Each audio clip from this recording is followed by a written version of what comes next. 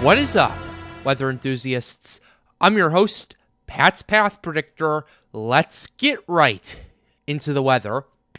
All right, so here's the situation we have for you, ladies and gentlemen. We have Tropical Storm Felipe that is currently gradually organizing and developing, less gradually, more quickly, as a matter of fact. We have a new area of interest that was just recently tagged in the Gulf of Mexico by the National Hurricane Center you can see there's a pretty large cluster of thunderstorms starting to gradually build up off the coast of Cuba and the Yucatan over here. And we have a new area of interest that is continuing to quickly organize and develop in the main development region behind Felipe. So this is all stuff we need to keep a very close eye on, and we'll keep and we'll go ahead and show you what's going on. Here's what we have going on with Felipe right here. We're going to go ahead and start with that. It currently has winds of 50 miles per hour, starting to uh, continue to organize and develop right here. Here's the situation. Uh, situation: Tropical storm force winds extend out 115 miles from the center. Pressure is 1,001 millibars. Its current location is 16.2 degrees north, 41.7 degrees west. It's moving west at, at or 280 degrees at uh, 12 miles per hour. So yeah, this thing has been interesting. Felipe forecast about our wind shear much of the of this week, so that's why they're not really uh, having this thing get up to hurricane strength. It's expected to gradually get up to 65 miles per hour in the next five days. However, I've been talking with my tropical team on Storms United, and they're think and they're showing me a bunch of microwave imagery of of, of Felipe gra- organizing quicker than anticipated. This is what Tristan uh, sent me not too long ago. Right here, I have it right here. This is microwave imagery of Felipe right here, and according to what we're looking at, it already has a mid a mid level eye at this time as a 50 mile per hour tropical storm. So this is something we'll have to continue to keep an eye on, see how resilient this thing uh, gets, but uh, and uh, how resilient this gets rather. That's what we have. Here's the uh, the forecast advisory is pretty much the same. And in the discussion, little change in intensity is forecasted with the storm during the next couple of days as increasing shear is forecast to otherwise uh, uh, counteract a conducive environment. There is a variety of solutions after this point, with some models showing a stronger uh, a Felipe finding low, a low-level shear environment, while others suggesting the storm succumbs to the shear of an upper uh, and from an upper-level trough. Excuse me. There are no easy answers to this or anything like that, so that's pretty much what we have uh, going on. It's currently moving. It's currently moving at once again 12 miles per hour. This is a situation we'll need to keep a very close eye on as time continues to go on. But we have two new areas of interest that we need to pay attention to as well. We have this one that's off the coast of the Yucatan Peninsula that just recently got tagged by the National Hurricane Center, and this as follows. Disorganized showers and thunderstorms over the southeastern Gulf of Mexico are associated with a surface trough of low pressure and an upper level trough. Further, further development, if any, is expected to be slow to occur over the next few days while the system moves slowly westward. By the middle of this week, Upper level winds are forecast to become too strong for additional development. 48 uh, hours chance of, formation, 10%. Same in the next seven days. But the fact that the NHC is really tagging this, and the fa- and due to its proximity to land, this is something we need to pay very, very, very close attention to as time continues to go on. And then we have this area, which is in, now Invest 91L. Here's what we have a small area of low pressure located several hundred miles uh, south uh, southwest of the Cabo Verde Islands continues to produce disorganized shower activity. Environmental conditions are forecast to be conducive for gradual development, and a tropical depression could form around the midweek while the system moves west northwestward across the central tropical Atlantic. 20% chance of formation in the next 48 hours, 60% chance of formation in the next seven days. This was at 40% earlier this morning. Now we've jumped up to 60. I think it, and if we go ahead and go back to the archives, the tropical weather outlooks, we can go ahead and give you a, a better evolution of this. This is where we were 20. This is where we were 24 hours ago. We are only at a 20% chance of development at that point. Then it went. Uh, then it went. Uh, it stayed there by the 8 p.m. Then it stayed at 2 a.m. But then this morning we woke up to a 40% chance of formation, and now we're at 60. So this is a very big situation that is going on. This thing is organizing and developing at a much faster pace than a lot of people were probably anticipating at this point, and a lot of things are really start are really starting to blow up at this current uh, at this current time. And as we get into this active weather period, be sure to check out my friends at Prestige Weather Consulting. They do one-on-one individual weather consul- uh, consulting centered for your local area. For more information, you can find a link to their website in the description down below, and be sure to use code Predictor for 50% off your first month. But with that being said, ladies and gentlemen, we're going to go ahead and get to the models right here and right now. Here's the European, here's the Zero Z at this current time. European's been pretty interesting all uh, all this hurricane season. European has Felipe continuing to move more and more to the west, and then the steering currents start to collapse, and a trough starts to develop, and it starts to push further and further to the north. It actually, the European's actually moving a little bit further to the west than a lot of the models were anticipating at this current time. The European hasn't really picked up on any tropical development in the main in the Gulf of Mexico because the NHC just recently tagged on it. They're probably going to run mile runs in the next few hours or so. But but still something to keep an eye on for sure. And then we have this thing starting to gradually organize and develop, although the European has it pretty much killed off for the time being. And then interestingly enough, Felipe, the European actually has Felipe moving more to the north, and then moving more, to, uh, then moving west southwest after like f- after like five days, and then the shear uh, or something like that kills it off. I'm gonna go ahead and show the see what the 250 millibar wind shear is. Yeah, even yeah, by the time Felipe uh, gets down there, there's not very much wind shear, which that's interesting from how, what the European's going for because the European track does have this thing moving more to the north, but then the high pressure system builds uh, builds up again and it pushes it further to the west, which again, we'll have to keep an eye on it. And I don't see how the Europeans killing this off because there's not very much wind shear over there. But that's definitely something we need to absolutely keep an eye on because if that holds and we continue to see more model runs like that, then that could potentially bring a lot of land impacts to Puerto Rico, Hispaniola, the Bahamas. We'll have to keep a huge eye on that. Next model run we're going to go ahead and show you is the GFS.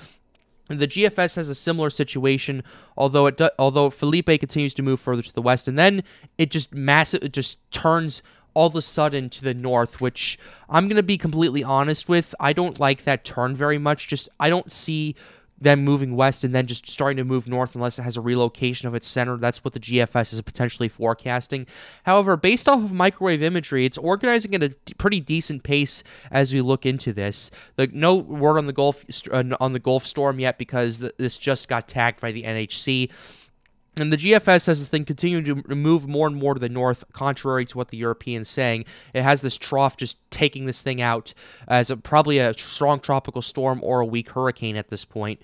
Next model run we're going to go ahead and show you is the CMC. CMC model has been interesting pretty much this whole time. CMC has a Category 1 hurricane uh, developing, then a high pressure system potentially blocks the whole uh, the movement of this for about a day or so before it weakens out and a trough starts to build out and it, this thing pushes further and further to the east. So that's a situation we need to keep a very close eye on as time continues to progress, according to what we have with the CMC. Next model run we are showing you is the NavGem. NavGem's also been pretty interesting. It's been more, uh, mainly more one of the Western models in the last few days. However, the NavGem has this thing strengthening up to Category 2 Hurricane uh, Felipe is, rather, while out to sea, while pushing further and further to the north. Gets down to potentially Category 3 strength as we get into the subtropical Atlantic Ocean right here. And then the high pressure system starts to weaken considerably, and this thing continues to move north-northeast at that point in time. So that's what we have going on with the NavGem.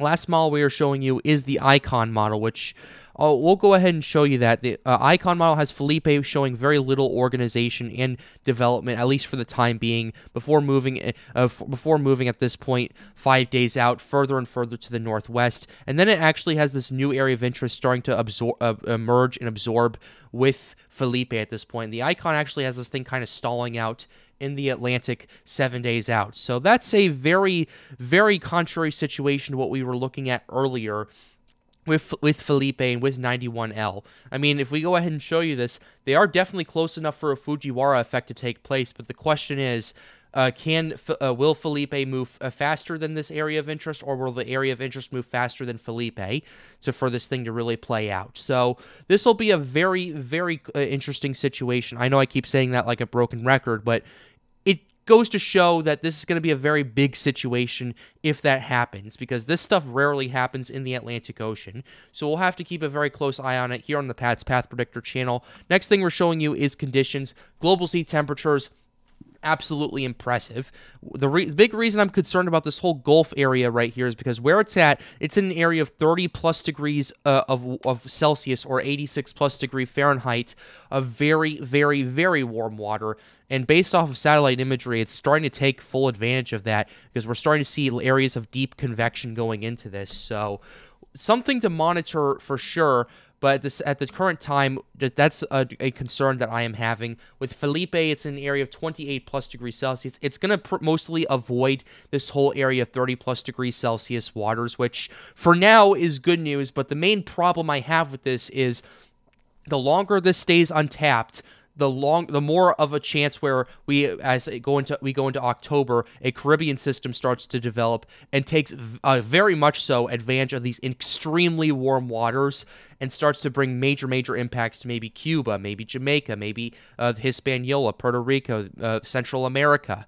Well, this is this something that isn't really sitting well with me at this current time? And based off of climate uh, climate models, October's uh, October is not showing an increase in shear anytime soon. Although we do see a shift in the uh, a shift in the tropical initiation, which that is scaring me to the core at this point.